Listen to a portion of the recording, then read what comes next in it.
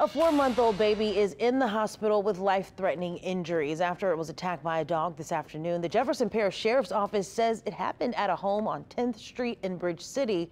The family had just gotten home and had the baby in a carrier. They put the carrier on the ground and the dog immediately attacked. JPSO says the baby's injuries are life-threatening. Animal control officers took the animal.